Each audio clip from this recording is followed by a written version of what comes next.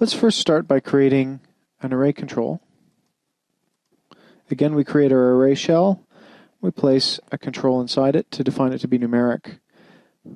As before, we've created a one-dimensional array, as reflected here. If we were to make a duplicate of this by using the control key and dragging, and then changing that to be an indicator, now we have our two copies of this array. One is a control, one is an indicator, and we can hook them up. If we want to modify this to become a multi-dimensional array, we can right-click on the array and choose Add Dimension. Notice how this has created a second index terminal. And also notice now if we were to hover over the array and resize the control, we can now show multiple columns of this array.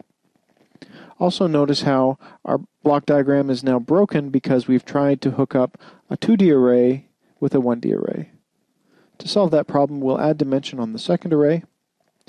And now observe how we have an even thicker, in fact, double line now, indicating that the array is not just a single dimensional array, but is a multi-dimensional array. So that's the first method of creating multi-dimensional arrays. Another way to do it is by using the auto-indexing capability of for loops, but by nesting multiple for loops inside each other. Let me give an example. I'm going to place down a for loop,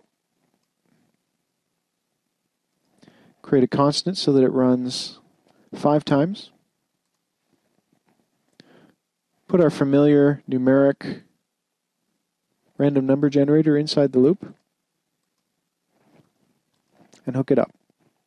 Because it is a for loop, the auto indexing has been automatically selected. And what this will do is this will create a one-dimensional array with five elements in it. We've seen this before. What I'm going to do now is I'm going to create a second for loop, this time inside the first one.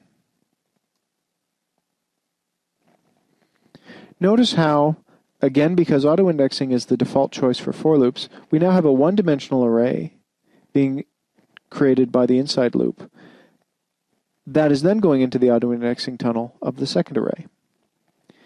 If I create an indicator now on the output of the outermost for loop tunnel, notice how array 3 has been automatically created and has been created to be a two-dimensional array. I'm going to create just a little bit more room so we can see the results of this array.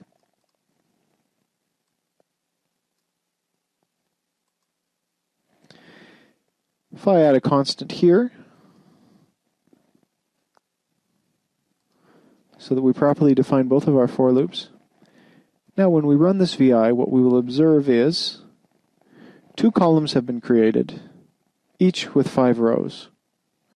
That's because the innermost loop creates each row to have two elements in it.